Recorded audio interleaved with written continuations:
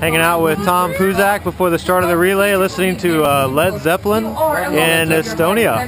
How do you think you're going to do today, Tom? I'm going to try to be as smart as possible and get the brain to slow down. That's been my biggest problem. So it's going to be really chaotic out there with uh, the relay because there's going to be three different courses.